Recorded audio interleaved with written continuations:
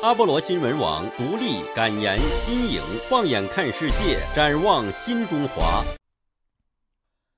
受贿、行贿、谋取人事利益，中国前防长李尚福遭开除党籍，移送法办。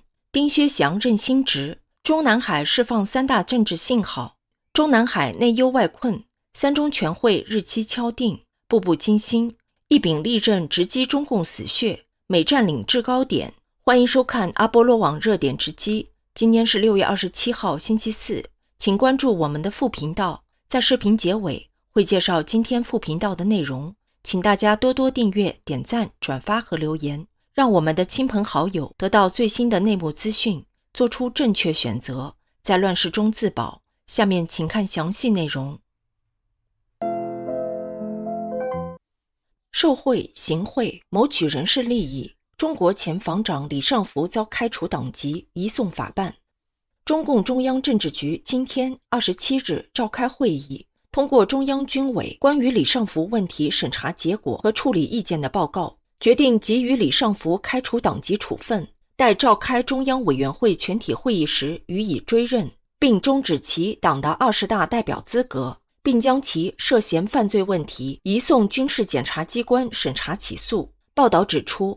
二零二三年八月三十一日，军委纪委监委对李尚福严重违纪违法问题立案审查调查。调查发现，李尚福严重违反政治纪律，不履行全面从严治党政治责任，对抗组织审查，严重违反组织纪律，违规为本人和他人谋取人事利益，利用职务便利为他人谋取利益，并收受巨额钱款，涉嫌受贿罪。为谋取不正当利益送给他人钱款，涉嫌行贿罪。审查调查中也发现李尚福其他严重违纪违法问题线索。中共中央政治局表示，李尚福严重污染军队装备领域、政治生态和产业领域风气，给党的事业、国防和军队建设以及高阶领导干部形象造成极大损害，性质极为严重，影响极为恶劣，危害特别大。调查发现。李尚福严重违反政治纪律、组织纪律和利用职务便利受贿、行贿，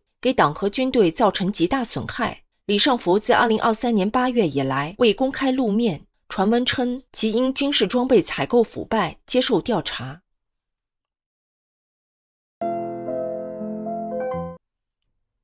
丁薛祥任新职，中南海释放三大政治信号。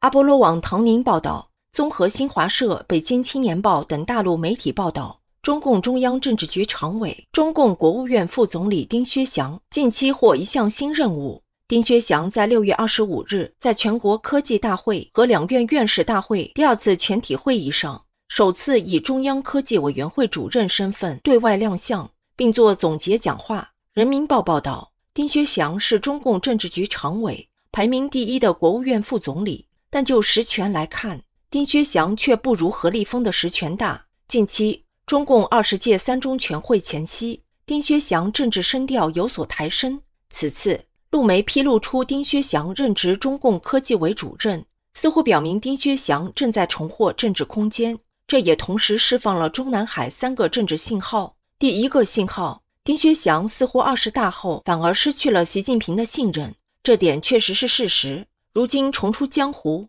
有可能表明其政治暗淡期渐渐逝去，目前重获习近平信任了。第二个信号，李强权力在收缩，丁薛祥出任中央科技委员会主任，证明总理李强与这一职务失之交臂。第三个信号，科技大跃进，拯救经济的猛药。丁薛祥在六月二十五日的中央科技全国科技大会和两院院士大会第二次全体会议上强调。要以新型举国体制推进科技创新。丁薛祥是典型的技术官僚，却满嘴的党话，这是释放党管科技、科技大跃进的信号。六月二日，习近平在科技大会上强调，要把科技命脉和发展主动权牢牢掌握在自己手中。习近平提出，中国的目标是在二零三五年建成科技强国，支撑经济实力、国防实力、综合国力整体跃升。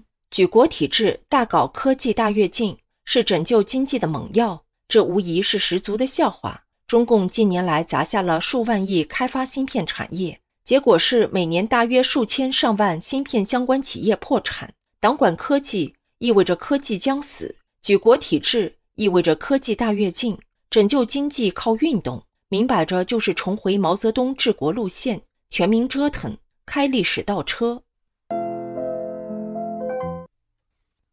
中南海内忧外困，三中全会日期敲定，中国经济陷入困境，高层内斗激烈。延宕举行的中共二十届三中全会，六月二十七日终于公布具体会期。中共党媒报道，中央政治局六月二十七日举行会议，会议决定中共二十届三中全会于七月十五日至十八日在北京举行。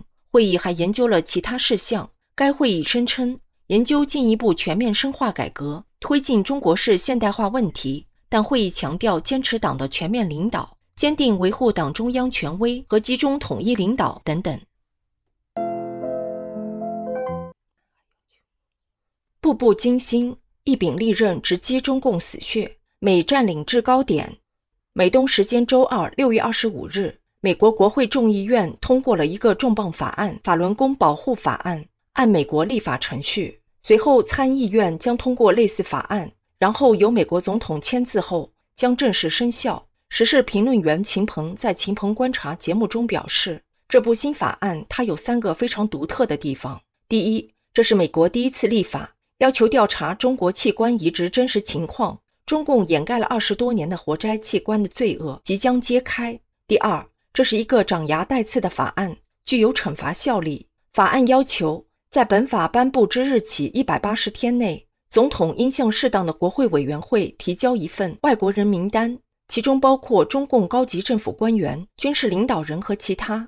总统确定在中华人民共和国境内明知对非自愿摘取器官负有责任或共谋，或直接或间接参与的人，这些责任人将被禁止冻结资产和禁止入境美国。他们辛辛苦苦搬到海外的资产会消失。法案主发起人国会议员佩里先生认为，对法轮功的迫害是种族灭绝。他要确保那些以任何方式参与活摘器官者都将被追究责任。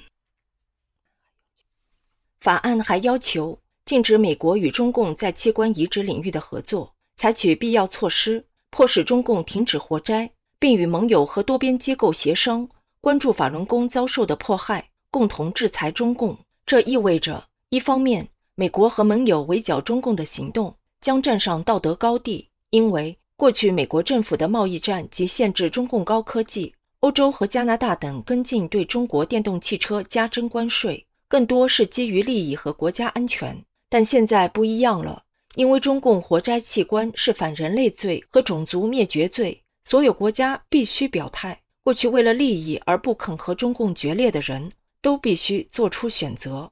另一方面，中共活摘器官罪行被确认后。还将会引发美国和盟友对中共更大、更密集的制裁。目前，美国两党和百分之八十以上的民众认识到了中共的邪恶。当随后活摘器官罪恶被美国国务卿、卫生部长和国立卫生研究院院长三大巨头确认，那么美国必将出台对中共更加严厉的法案。中共的末日不远了。第三，新法案也要求国务卿、卫生部长和国立卫生研究院院长。提供过去十年中支持华人器官移植研究或中美实体合作的所有美国资助者清单。预计海外参与者为了自保，将主动向美国政府提供更多的中共犯罪证据。秦鹏还说，让他看着触目惊心的是，法案中说，二零二一年六月十四日，联合国人权专家发表联合声明。对针对中国被拘留的法轮功学员、维吾尔族、藏人、穆斯林和基督徒等少数群体的所谓器官摘取的报道表示极度震惊。也就是说，中共已经把黑手伸向了中国更多人群。最新副频道的内容是：您可以点击视频的右上角来观看。一些观众询问如何找到阿波罗网副频道，您在我们的频道首页向下拉。有副频道的图标，点击就可以进入副频道。在每个视频描述下也有副频道订阅和赞助链接。阿波罗网是独立媒体，没有政府和机构资助。您的每一份支持和鼓励都温暖并激励着我们，请大家多多支持。我们也在干净世界平台开了频道，欢迎您在干净世界订阅我们，链接在视频的描述中。再会。